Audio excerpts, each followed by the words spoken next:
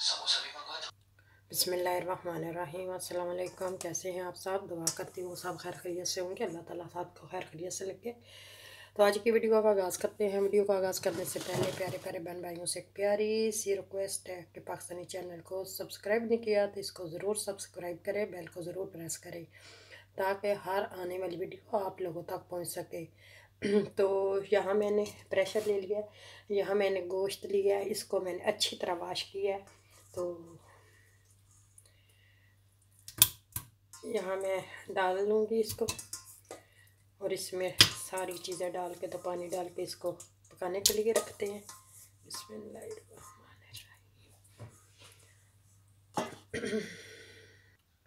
कड़ी पत्ता डालेंगे। तो यहाँ मैं दालचीनी डालूँगी और एक टमाटर और प्याज मैंने फ्रीज किए हुए थे तो ये डालेंगे। ये।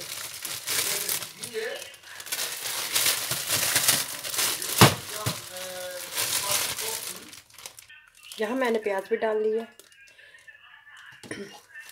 और ये ग्राइंड करके फ्रीज की हुई थी अदरक, कटकुड़ा, लहसुन अब इसमें पानी शामिल करेंगे।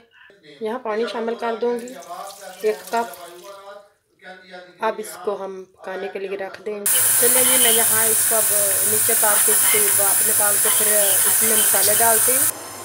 तो यहाँ देखें।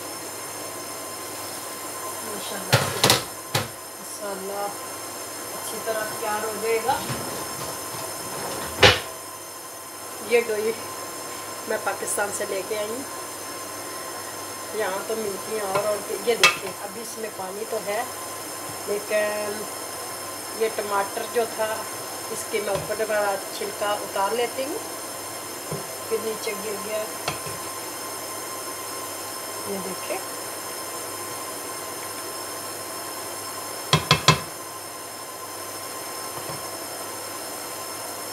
अब इससे छिलके को उतार देना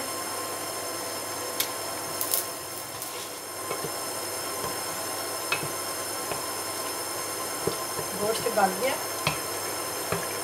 अब पानी खुशक करना है और इसमें मैं डालने लगी हूँ आधा टेबल स्पून हल्दी, आधा टेबल स्पून लाल मिर्च, एक टेबल स्पून नमक, एक टेबल स्पून धनिया पाउडर ये मसाले हम शामिल कर देंगे। जितने कम मसाले डालेंगे, उतना अच्छा सालन बनता है। अब इसको मैं पानी खुशक करने देंगी। तो तब तक ये मसाले भी इसमें मिक्स हो जाएँगे। तो फिर घी डाल के इसको भून लेंगे। मिलते हैं थोड़ी देर। यहाँ तेल डालेंगे।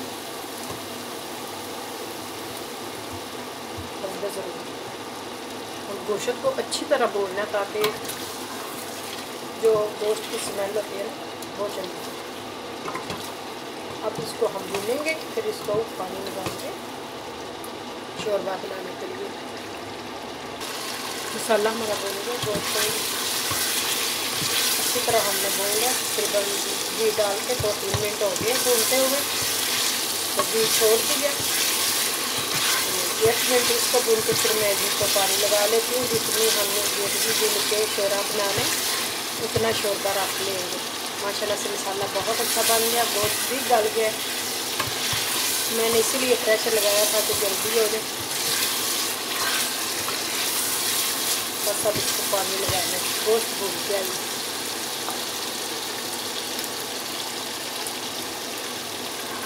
एक चम्मच दही का डाला और अब इसको मैं ऐसा करेंगे भेज के पानी लगाती हूँ।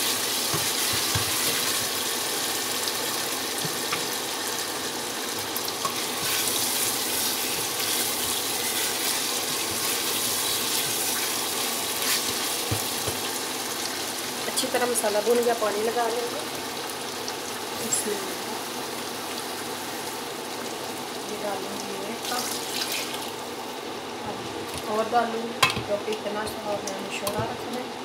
शोरे वाली चीज़ें अच्छी लगती है। पता नहीं क्या बात है, भूनी हुई मुझे इतनी अच्छी नहीं लगती। दो कप डालें। अब इसको पका लेंगे शोरबे को। मैंने सबक मिर्च एक डाली थी, ये बड़ी थी तो मैंने बीच में काट के इसको डाला।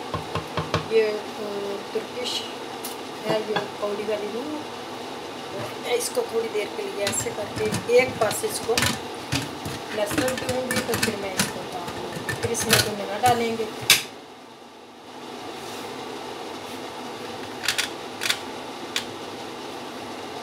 जहाँ मैं इसका फोड़ने लगी